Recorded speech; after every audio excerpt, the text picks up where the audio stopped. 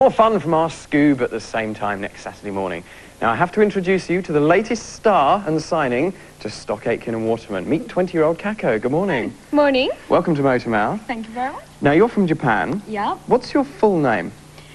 It's um K-A-K-U-K-O, Kakuko, today.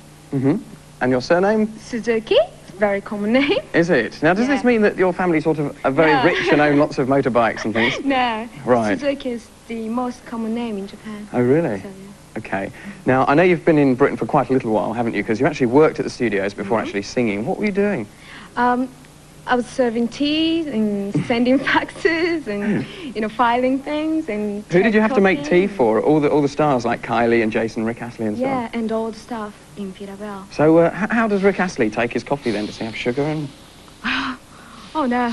Tea. Can you I remember? Think, yeah, I think she, she had tea. Tea, right. You? Okay.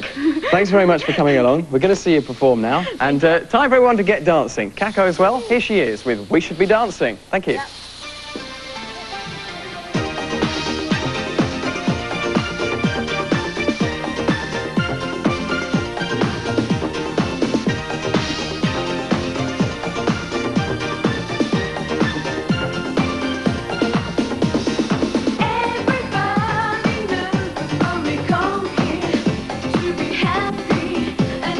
good time.